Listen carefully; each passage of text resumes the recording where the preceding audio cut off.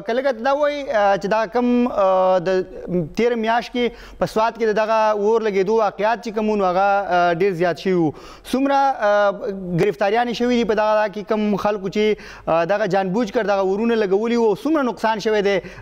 دغه ورونو کې دغه ځنګلاتو ته ښه جی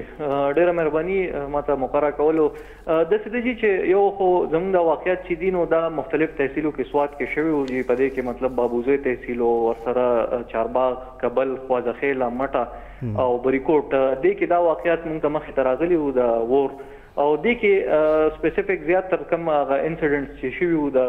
فارسټ فایر دا نو هغه زیات تر په کمیونل یا پرایویټ لینډز باندې وو او چې تاسو سپیسیفیک یو څو پکې چې دي نو هغه زمونږ چې کوم سرکاري ځنګلې دي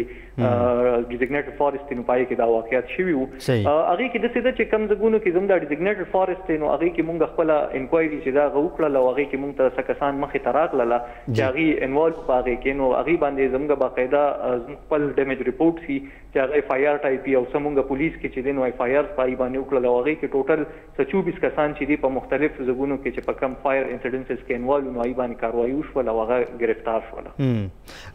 وسیم صاحب څومره سزا دوی ته کیدای شي مینیمم میکسیمم څومره سزا دغه چې جان بوج کر یو سړی دغه خپل ځنګل دی خو دغه دغه خپل هم دی خو دغه ماحولیات ته چې نن سبا څومره نقصان در رسولی دی نو څومره سزا کېدی شي دې کې خو داسې ده چې هم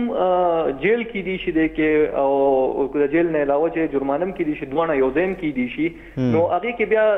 د ماجستریټ اختیارات دي چې هغه مطلب دا دی ته کو وغواړي نو د دې کې دریو میاشتو نو اخله تر دوه کالو پورې دې کې هغه دې ته سزا ورکول شي هغه نوعیت ته ګوري او د هغې